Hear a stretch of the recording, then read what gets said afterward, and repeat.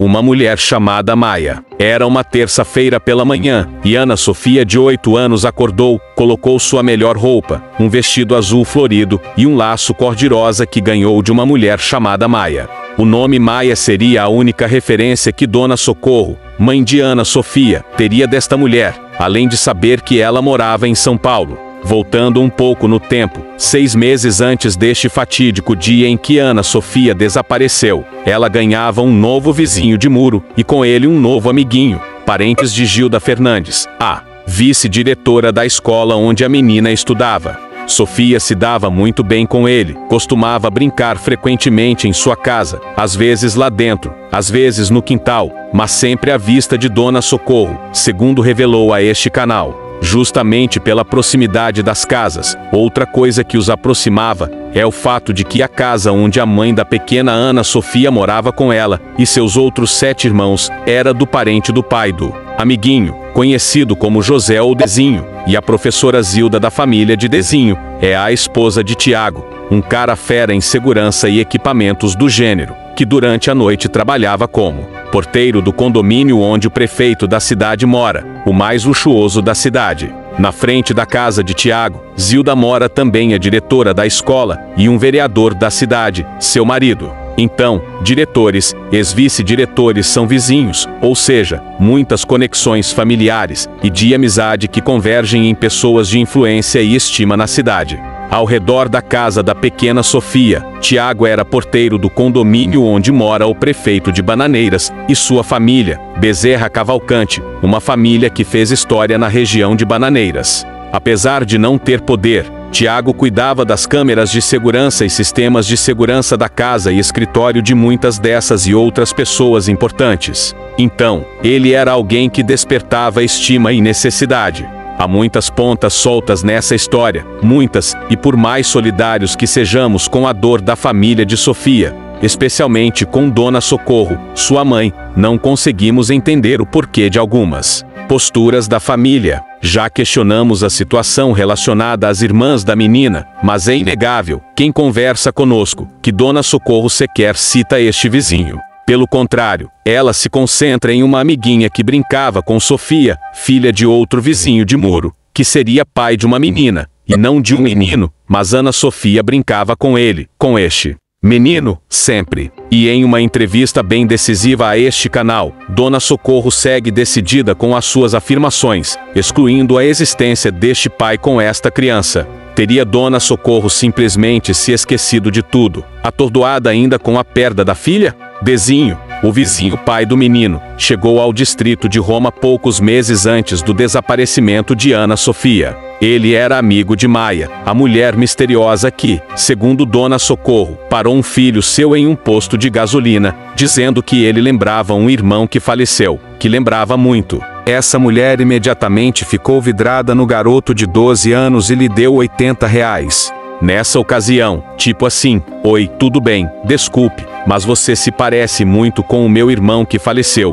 Posso te dar um abraço? Obrigada. Agora toma aqui seus 80 reais. Estranho. Foi assim que Dona Socorro e seu filho conheceram a tal Maia, que, desde esse dia, nunca mais parou de contribuir com o menino. E os presentes eram estendidos também a Ana Sofia, como é o caso do vestido que ela vestia no dia em que desapareceu. A pequena gostava tanto da peça que a desenhou na parede da casa em que morava antes de sair. Nesse mesmo dia, ela se despediu da mãe pela última vez e foi ao encontro de seu cruel destino. Maia, a mulher enigmática, continuou a presentear o irmão de Sofia, além de roupas, com quantias em dinheiro também. Depois daquele dia que se conheceram no posto, ela conheceu Dona Socorro próximo a um posto de gasolina no distrito de Roma. E por algum motivo, sempre que mandava presentes, a única coisa que punha no endereço para remetente era Maia, sem qualquer outra identificação. Por qual motivo? por prezar demais por sua segurança, por medo que lhe escrevessem pedindo algo, ou porque de fato não queria ou podia ser encontrada? Não se sabe. A história de comoção contada pela mulher ao se aproximar de Dona Socorro com os filhos é uma das mais manjadas por pessoas de má intenção. se parece com meu filho que faleceu, com meu pai, com meu irmão, Maia dizia. Tinha parentes ali que viviam na região. Da última vez que fez contato com a família de Dona Socorro, a mulher disse que iria para Bananeiras para o São João, ou seja, pouquíssimos dias antes de Ana Sofia desaparecer, e também pouquíssimo tempo antes de seu amigo Dezinho pegar sua família e ir embora da cidade. Dias após o desaparecimento de Ana Sofia, ele, que chegou a ser investigado, ou seja, pessoa suspeita das investigações, partiu de Bananeiras e até agora não retornou. Seu José, o Dezinho, chegou meses antes de Ana Sofia desaparecer e foi embora, então, dias após o desaparecimento da menina. Dona Socorro dizia, até poucos dias, que Sofia havia sido vista pelas irmãs com pipoca e salgadinho. A polícia encontrou na casa de Dezinho restos de pipoca e salgadinhos, uma embalagem também. Em entrevista na época, Dona Socorro se disse mais tranquila, pois as investigações estavam se direcionando para um novo rumo. A mãe de Sofia disse que Dezinho era um vizinho simpático e brincalhão, que sempre fazia piadas com sua esposa, ou seja, demonstrava ser uma pessoa solar. Mas podia ser um disfarce, um falso humilde, um falso simpático.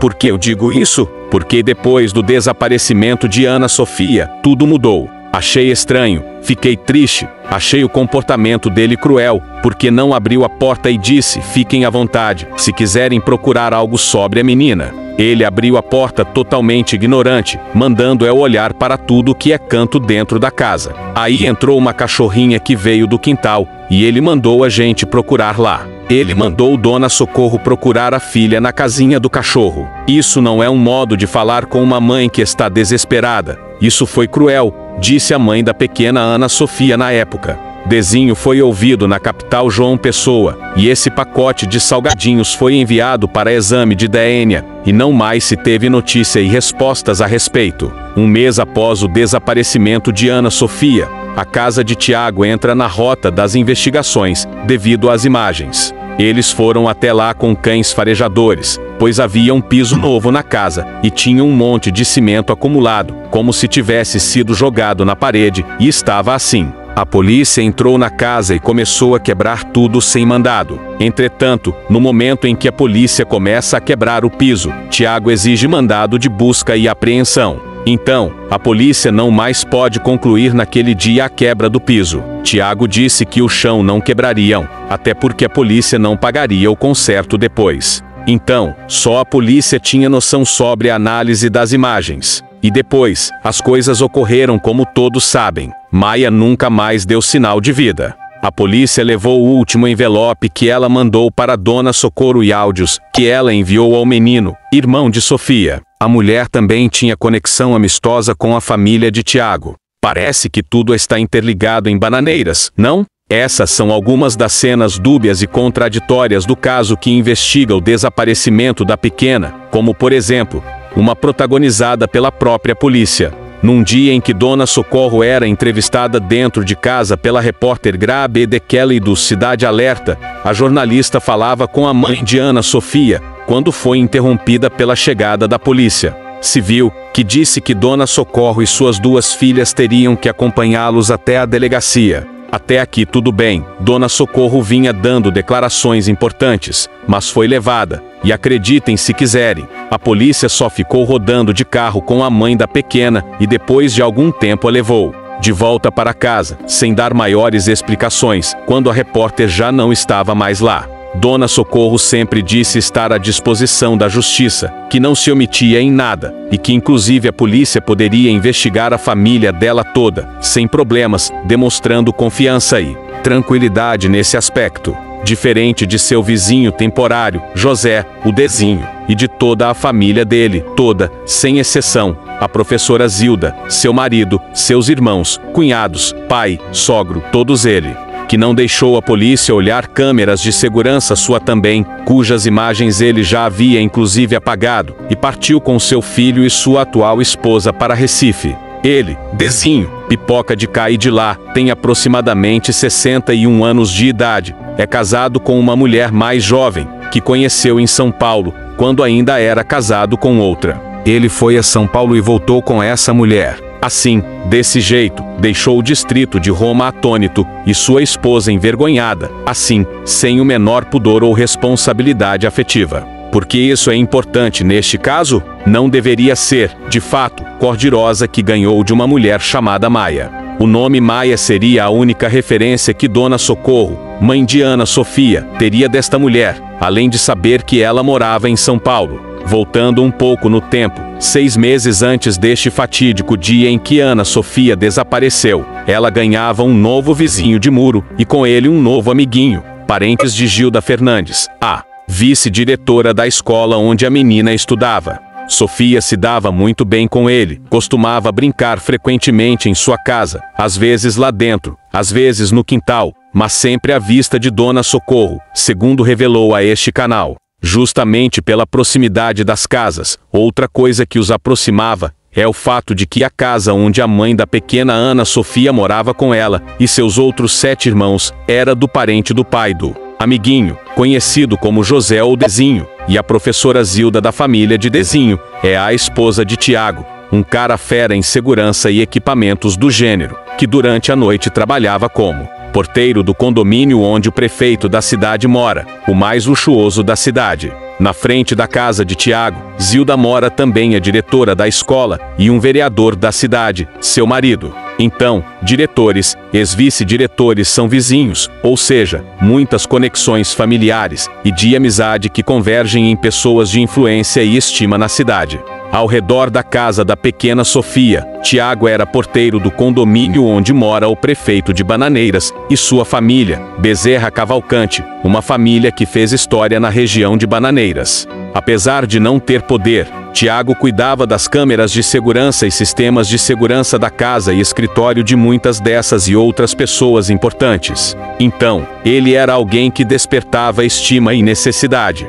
Há muitas pontas soltas nessa história, muitas, e por mais solidários que sejamos com a dor da família de Sofia, especialmente com Dona Socorro, sua mãe, não conseguimos entender o porquê de algumas posturas da família. Já questionamos a situação relacionada às irmãs da menina, mas é inegável, quem conversa conosco, que Dona Socorro sequer cita este vizinho. Pelo contrário, ela se concentra em uma amiguinha que brincava com Sofia, filha de outro vizinho de muro, que seria pai de uma menina, e não de um menino, mas Ana Sofia brincava com ele, com este menino, sempre. E em uma entrevista bem decisiva a este canal, Dona Socorro segue decidida com as suas afirmações, excluindo a existência deste pai com esta criança.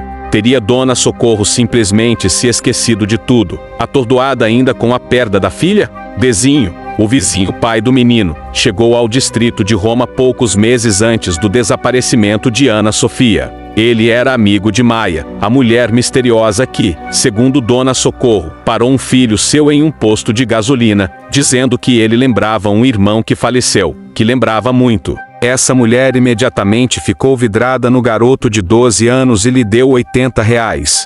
Nessa ocasião, tipo assim, Oi, tudo bem, desculpe, mas você se parece muito com o meu irmão que faleceu. Posso te dar um abraço? Obrigada. Agora toma aqui seus 80 reais. Estranho. Foi assim que Dona Socorro e seu filho conheceram a tal Maia, que, desde esse dia, nunca mais parou de contribuir com o menino. E os presentes eram estendidos também a Ana Sofia, como é o caso do vestido que ela vestia no dia em que desapareceu. A pequena gostava tanto da peça que a desenhou na parede da casa em que morava antes de sair. Nesse mesmo dia, ela se despediu da mãe pela última vez e foi ao encontro de seu cruel destino. Maia, a mulher enigmática, continuou a presentear o irmão de Sofia, além de roupas, com quantias em dinheiro também. Depois daquele dia que se conheceram no posto, ela conheceu Dona Socorro próximo a um posto de gasolina no distrito de Roma. E por algum motivo, sempre que mandava presentes, a única coisa que punha no endereço para remetente era Maia, sem qualquer outra identificação. Por qual motivo? Por prezar demais por sua segurança, por medo que lhe escrevessem pedindo algo, ou porque de fato não queria ou podia ser encontrada? Não se sabe. A história de comoção contada pela mulher ao se aproximar de Dona Socorro com os filhos é uma das mais manjadas por pessoas de má intenção. Se parece com meu filho que faleceu, com meu pai, com meu irmão, Maia dizia. tinha parentes ali que viviam na região. Da última vez que fez contato com a família de Dona Socorro, a mulher disse que iria para Bananeiras para o São João, ou seja, pouquíssimos dias antes de Ana Sofia desaparecer, e também pouquíssimo tempo antes de seu amigo Dezinho pegar sua família e ir embora da cidade.